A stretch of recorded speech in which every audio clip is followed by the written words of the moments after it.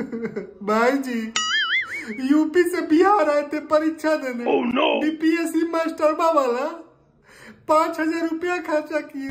मेहनत अलग से। पेपर में लीक हो गया। बादला पूरा हो गया।